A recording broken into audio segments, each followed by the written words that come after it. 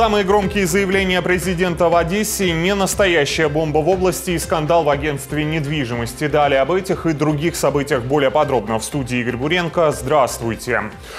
Президент Украины Петр Порошенко в Одессе. Первым делом он встретился со студентами морской академии. Общался с ними недолго, около получаса, но за это время рассказал, как 30 лет назад пытался поступить в этот вуз и как верит в силу будущих моряков. Я вірю в те, що все в нас вийде. І військово-морські сили будемо мати, і морські ворота побудуємо, порти побудуємо. Хто мені в цьому допоможе? Ви. Бо ніхто більше, як ви, в цьому не зацікавлений. І я хочу сказати, що я дуже на вас в цьому розраховую. Своим первым местом для визита морскую академию президент выбрал неспроста. Учебному заведению Петр Порошенко делает подарок. І я підпишу цей указ. І надам Одеському університету Національної академії статус національної. Думаю, що це правильне рішення. Думаю, що це правильний час і правильне місце. Студенты морской академии остались под впечатлением после приезда Петра Порошенко. Говорят, речь главы государства их вдохновила и мотивировала. Понравилось то, что как бы рассказывал, что в вышку поступил и вообще хорошо говорил об этом месте. Я узнал об этой профессии где-то в классе третьем и понравилась как бы романтика, вообще мир увидеть и сюда нравится. Меня вдохновила его речь, честно говоря, о будущем нашей страны. Я доволен. Хотел бы побольше чего-то там особенного. Когда будут корабли, например, когда спустят Украину, Владимира Великого, потому что мы их ждем уже лет 10. После этого на Приморском бульваре прошла церемония присяги новой полиции. На мероприятии присутствовал президент Украины Петр Порошенко, который напутствовал новых правоохранителей. И уже сегодня сотня полицейских приступит к автомобильному и пешему патрулированию Одессы. Управління Струнко. Я, усвідомлюючи свою високу відповідальність. Урочисто присягаю. І я впевнений, що одеська поліція повторить успіх своїх київських побратимів, де поліція була запущена трохи більше місяця тому. І вже сьогодні 80% киян твердо довіряють поліцейському в новій формі. Сегодня на улице Одессы выйдут 100 новых патрульных полицейских. Об этом сообщил глава новосозданного управления Богдан Федун и рассказал о графике работы новой службы. Патрули будут работать что ночью, что днем, э, круглые сутки. Они будут просто меняться. Э, Будет пеший патруль, который будут ходить э, по той территории, где автомобили не проезжают, где большое скопление людей, где людям нужна помощь и защита. Сегодня выходит близко 100 человек. Думали, что бомба, а оказалась муляж. В Белгороде-Днестровском подозрительный предмет обезвреживали с помощью робота гидравлической гранаты. Он оказался не взрывоопасным. Ненастоящую бомбу у центрального входа завода «Гемопласт» обнаружил охранник во время обхода территории вечером. Подозрительный предмет находился в полиэтиленовом пакете красного цвета с проводами и светодиодной лампой. На место происшествия выехала следственная оперативная группа Белгород-Днестровского отдела милиции, взрывотехники и представители других служб. Одесский военный госпиталь принял очередное пополнение 28 бойцов из зоны АТО. У 13 из них огнестрельные, пулевые и осколочные ранения. Военно-медицинский клинический центр Южного региона военных доставили авиационным санитарным транспортом. Подробности у Юлии Федоровой. Самолет прибыл из Запорожской области. На борту трое тяжело раненых и еще 11 человек с различными травмами. Остальные с острыми хроническими заболеваниями. Самый тяжелый пациент Виктор Каталь. Сейчас боец находится в реанимации. Врачи-офтальмологи готовят его к сложной операции по восстановлению зрения. Имеется ну, множественные огнестрельные следствия минно-взрывной травмы ранения туловища, конечности, лица с повреждением органа зрения. На данный момент он у нас э, практически уже парень по внешним э, параметрам находится в реанимации, стабилизирован. Уже на следующей неделе ждут возвращения в Одессу Виктора Жукова. В начале лета боец 28-й бригады в результате осколочного ранения остался без обеих ног. Протезирование и реабилитация проходили в городе Баден-Баден в Германии. Оттуда Виктор вернется уже на ногах. Он идет на выздоровление. Уже пошли первые примерки, которые у немцев на третьи сутки уже выполняются. И есть э, большие шансы хорошие, что парень вернется уже полностью с протезами и уже будет, как говорится, активным. На сегодняшний день в военном госпитале на лечении и реабилитации находятся 114 бойцов. Только в этом году здесь получили помощь 2700 военных. В их числе 600 тех, кому из-за тяжелых увечий требовалось по несколько операций. Одновременно врачи продолжают трудиться и на передовой. В ближайшее время в мобильном госпитале проведут очередную ротацию. Там нам предстоит порядка где-то 20 врачей и порядка 40 сестер среднего персонала, а в целом где-то под 80 человек, которым нам необходимо будет обеспечить, вот, э, произвести ротацию сотрудникам, тем, которые сейчас находятся на передовой. В этом году в Одесском национальном медицинском университете собираются возродить военную кафедру. Здесь будут готовить медиков для работы в военно-полевых условиях. Юлия Федорова, Андрей Кульба, Седьмой канал. Они хотели снять квартиру в Одессе, чтобы отдохнуть у моря, а оказались с чемоданами на улице. Семья из Черкас обратилась в агентство «Мир квартир». Там с них взяли полторы тысячи гривен и дали адрес, которого нет на карте города. Когда гости поняли, что стали жертвами обмана, попросили вернуть деньги, но получили отказ. Возвращать средства пришлось вместе со съемочной группой седьмого канала. Подробности у Татьяны Милимко. Это не бракованный кадр. Это рука на объективе камеры, принадлежащая сотруднику агентства недвижимости. Вот он. Агрессию спровоцировал визит недавно еще желанных клиентов агентства. Семья из Черкас приехала в Одессу погостить. Врачи рекомендовали детям морской воздух. Жилье решили найти через газету. Обычным способом купили газету и через газету просто позвонили по номеру, который нас устраивала цена. То нам пообещали, что нас устроят на вечер уже. И деньги взяли, договор подписали и все. Деньги не вернули, квартиру не нашли. Дальше по классической схеме. В агентстве дали номер телефона хозяйки квартиры, сообщили улицу, номер дома и вместо Черного моря – море обещаний.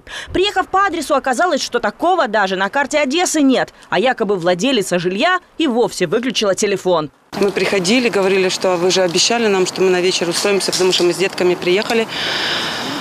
И получается так, что остались на улице. Верните наши деньги. Ни квартиры нету, ни, ни денег. Ну, нам обещали за 7 дней. 7 дней прошло, никто нам денег не вернул. Агентство недвижимости «Мир квартир» расположено на Малой Арнаутской, 86. Здесь предлагают самые низкие цены на аренду жилья. Семьи взяли полторы тысячи гривен. Каждый день обещали вернуть средства, но так и не возвращали. Очередной визит встречают вот так. Здравствуйте, здравствуйте. Седьмой телеканал, мы хотели бы уточнить, как происходит возврат денег. Группа не трогает. Камеру не трогает. В забаррикадированном кабинете сотрудница агентства показывает договор. Здесь пишется срок на один месяц. Где пишется срок? Ну, это я вам образец дала. В основном договоре пишется. Она говорит, здесь в договоре указан срок. Показывает мне напротив. Здесь ничего не указано. Ее коллега вызывает охрану. Увидев камеру, те ретировались.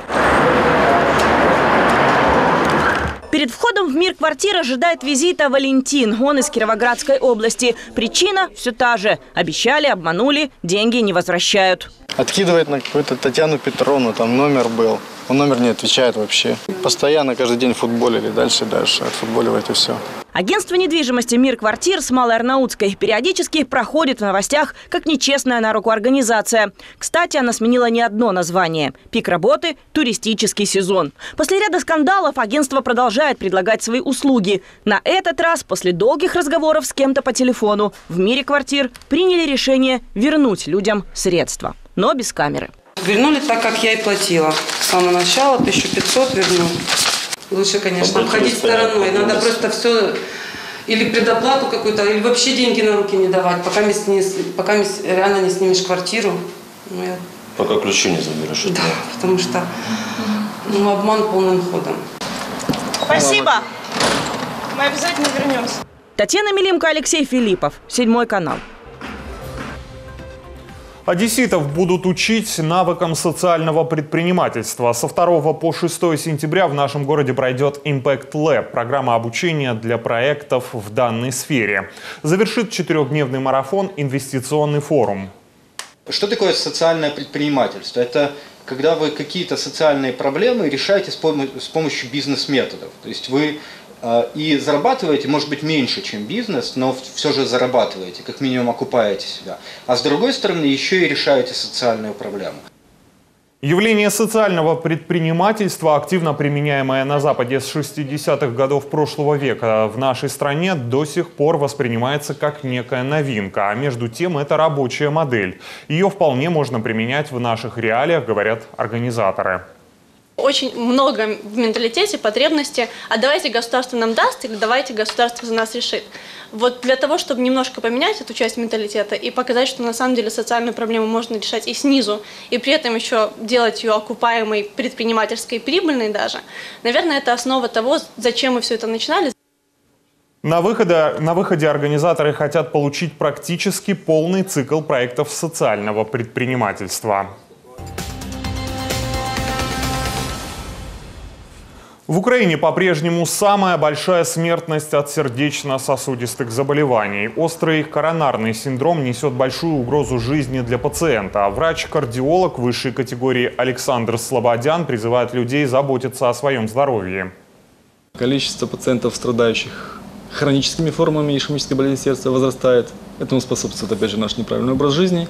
Население стареет, Плюс сопутствующие заболевания, такие как диабет, гипертония, способствуют, ускоряют эти процессы развития ишемической болезни сердца. Да, то есть количество пациентов растет.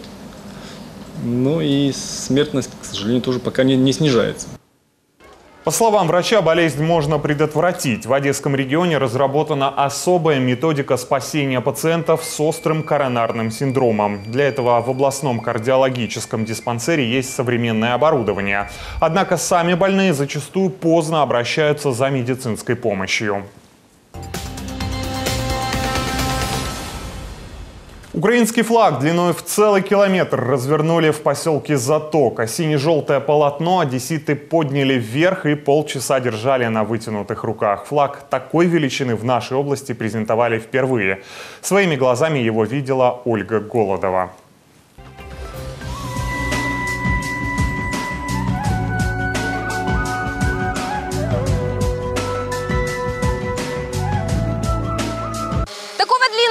Флага одесситы еще не видели. Сине-желтый государственный символ длиною один километр развернули отдыхающие в затоке. Зрелище невероятной красоты. Организаторы говорят, что создать такое полотно было не тяжело, ведь все делали дружно и с душой. Размеры полотна – это 1 километр в длину и 3,5 метра в ширину.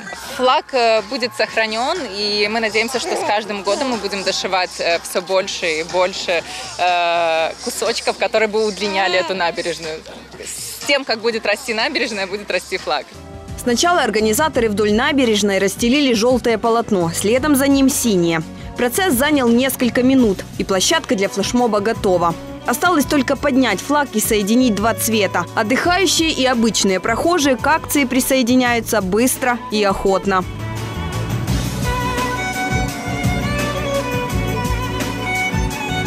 Видели ли вы раньше такой длинный флаг Украины?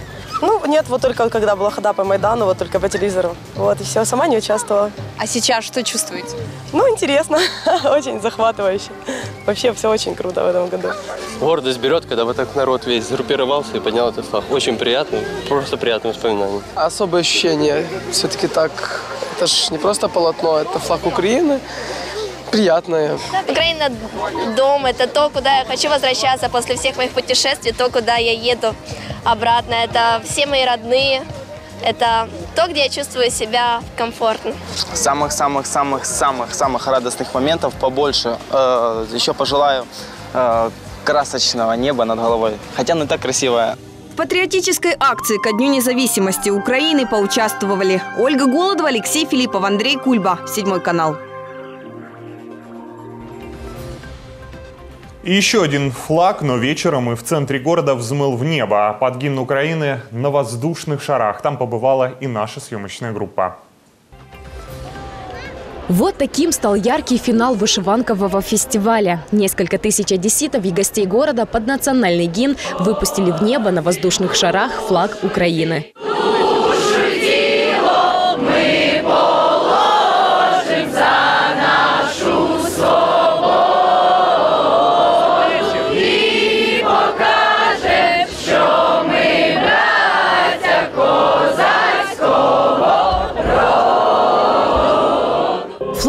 Длиной 5 метров в небо улетает медленно. Его поднимает 400 шаров. Стяг нашої держави означає для мене це якийсь символ такої незалежності.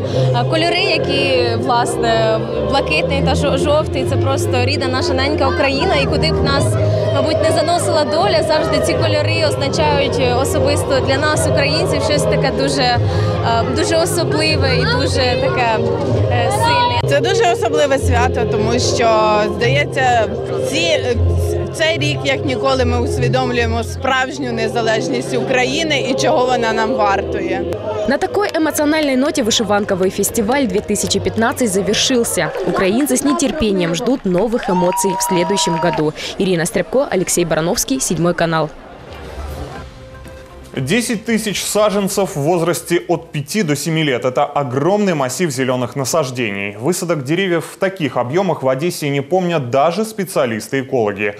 Уже в октябре в нашем городе стартует масштабная акция по озеленению. Ее инициатор, известный меценат Аднан Киван, в эту субботу лично выбирал лучшие саженцы в подарок одесситам. Деревья не просто высадят, им обеспечат надлежащий уход. До старта всегородской эко-акции по высадке 10 тысяч деревьев еще целый месяц. А инициатор акции, меценат Аднан Киван, уже в минувшую субботу лично выбирал лучшие саженцы в подарок одесситам. Однозначно появится скоро на улицах города Одессы 10 тысяч деревьев. Мы это с помощью Бога сделаем. Мы хотим это делать достаточно профессионально и ухаживать за эти деревья в дальнейшем.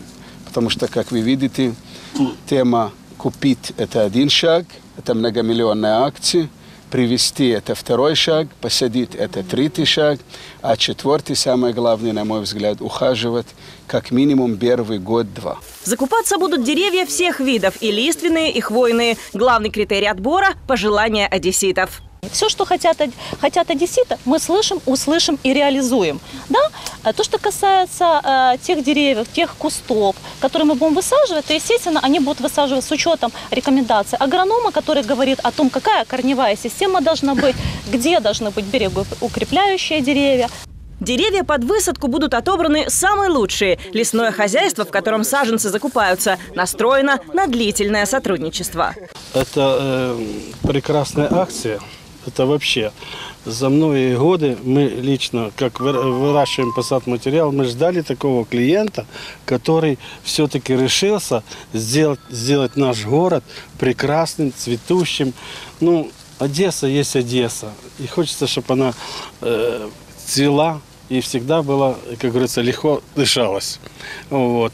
Посад материал, который у нас есть, мы постараемся выбрать один лучших из лучших. В успехе предстоящей акции уверены все. Дай Бог. Я вас верю и надеюсь, с помощью Бога мы это сделаем. Сделаем легко и будем радовать одесситов на долгие-долгие годы.